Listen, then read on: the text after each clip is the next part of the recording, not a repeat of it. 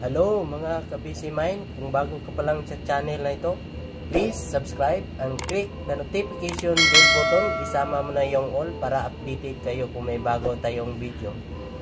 Ngayon, ang isi-share na naman natin ay ang pag-check ng welding machine. Kasi may dalawa tayong welding machine. Itong isa ay may digital control. Yung isa naman ay power lang at saka set up ng current niya. Yung isa naman parang may problema ito. Kasi may power siya pag start natin ng ah, spotting mamamatay siya. So titingnan natin kung ano ang problema ng welding machine na ito. So i-compare natin yung dalawa kung saan ang maganda na welding machine nito. So tara na, simulan na tayo. So ipa-power natin yung welding machine. Unahin muna natin yung may uh, current digital setup.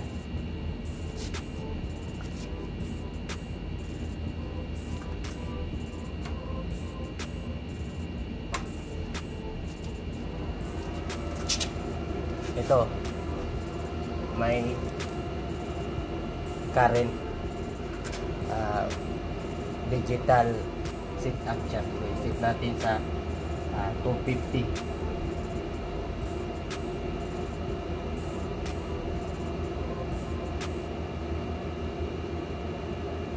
kahit 230 lang kasi yung ititesting natin ay isa lang ang angle bar spot lang natin para malaman natin na anong problema ng welding machine na ito. Ito maayos naman.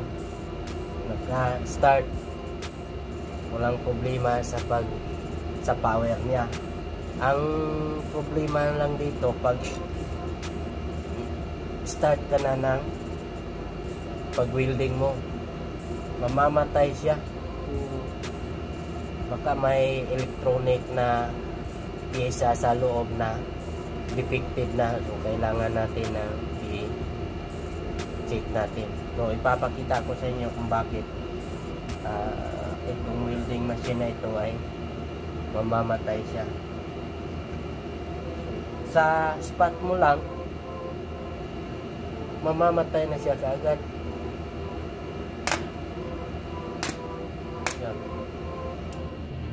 yun no? Mamatay so pag i-start mo uli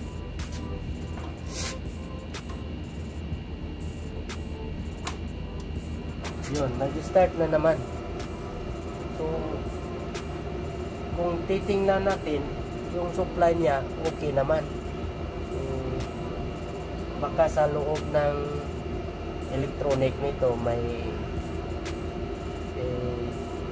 loose contact o kaya ay uh, thermostat control na hindi na gumagana. Yung isa namang welding machine ay i-testing natin kung maayos ba ito na welding machine na ito. Kasi lahat ito ay uh, portable na welding machine.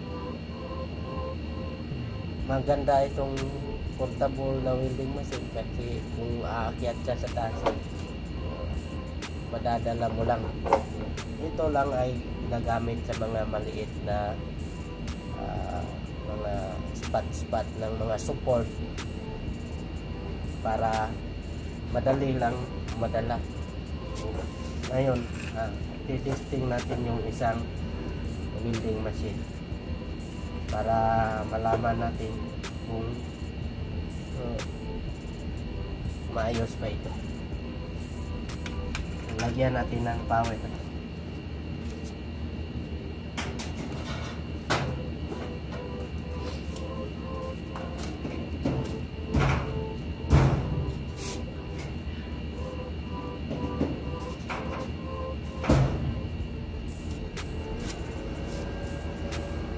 Yun. may power na yung welding machine na ito ay ang indicator niya power. Power lang ang light. Hindi katulad nito may digital na uh, display. Kung ilang amperahe ang gusto mo at saka yung hot start niya. Isisetting mo yon depende sa ano depende sa metal na i-welding mo. Dito support to. Gawa tayo ng support angle bar. So, testingan natin kung makuha ito sa pag welding ng isang welding machine. So tara simulan na tayo. Lagay natin yung positive na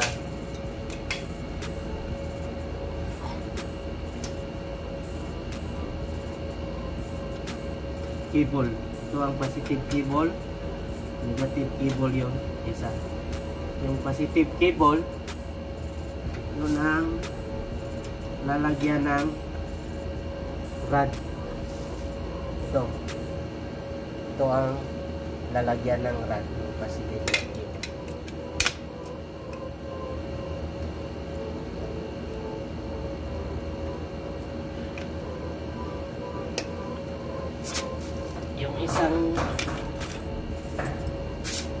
yung negative naman ilagay natin yan sa ground ng bibingking natin.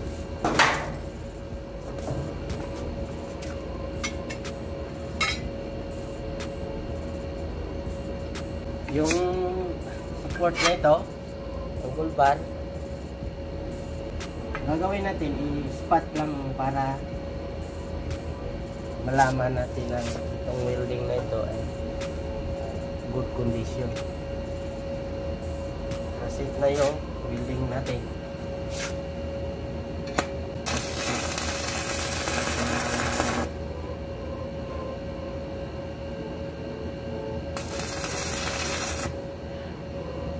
Dito titirahan natin para mag-join yung dalawang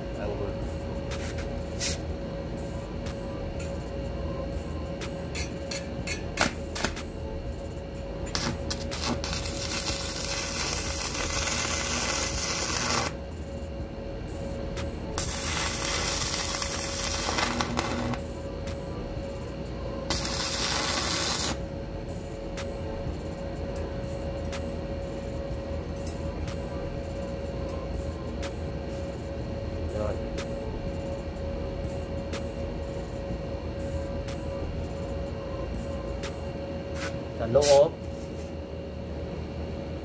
spatan din natin.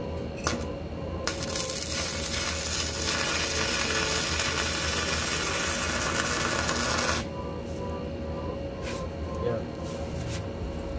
Pina-check sa atin anong problema ng isang welding machine na ayaw uh, ayaw kumana pag nag-start ka na ng welding.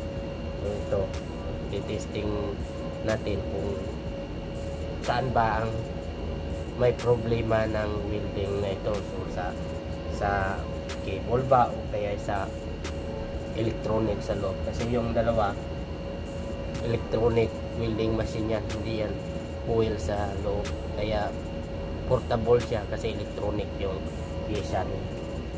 So, ito, ubusin natin yung isang rod. Kung hindi ba ito, mamamatay yung isang welding machine. Baka pag straight mo yung pag welding, mamamatay din ito. Yung gagawin natin, ubusin natin yung isa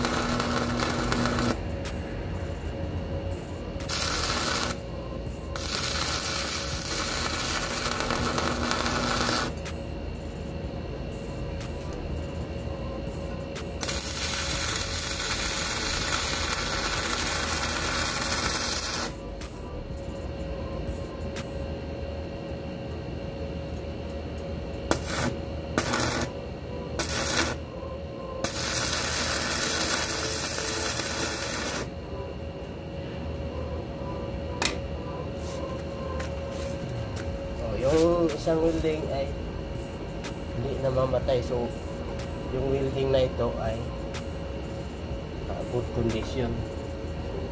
Napaka-importante itong welding machine na portable kahit saan mo dalhin magagamit ko ito.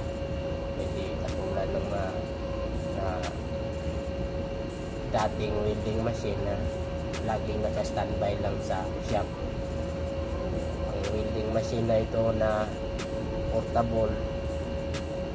Electronics na ito lahat. Pero ang problema nito pag may pyesa na masira sa board niya ay kailangang i-repair. So kung may ideya ka sa electronics uh, mas advanced ka na mag-check nito. Kasi kung wala kang ideya pag hindi na gumagana ang nasa isip mo ay wala na to, tapo na to. Bibili ka ng iba o bago. Pag may ideya ka, i-try mo muna i-trouble kung kaya mo, kung makuha mo. So, hindi ka na magkagastos pa, bibili ng bago. So, gawa muna tayo ng paraan pag check, pag trouble ng electronic niya kung saan uh, may damage. Kung saan ang uh, visa na defective dahilan ng ayaw na mag start yung welding machine. Okay? Ito lang ang may share ko sa inyo. Uh, kung nagustuhan mo ang video na ito please like and share to others para may matutunan din silang bago tungkol sa pag-check ng welding machine. Kaya nga pala, kung hindi ka pa nakasubscribe, please subscribe my channel, PC Mind, para uh, mag-grow ang ating channel. Kasi simula lang ng channel na ito, sana ay matulungan nyo ako na yung channel natin ay marami ang mag marami na ang ating subscriber at viewers. So tayong mga mahilig sa technical na trabaho dapat mag tulungan tayo magbigayan tayo ng idea kung uh, ano man ang hindi natin alam. So kung may ideya kayo mag-comment ka lang sa uh, baba. Sabihin mo na ito ang gagawin natin para ma-enhance yung knowledge natin na may mga bagay na hindi natin alam pero alam na ng iba. So kung marami tayong nag-iisip kung paano pag gagawin ito pinag sama natin yung mga idea. Marami tayong magagawa sa ating uh, buhay. So yun lang ang may bahagi ko sa inyo na kaalaman. Okay bye bye mga kabisi mind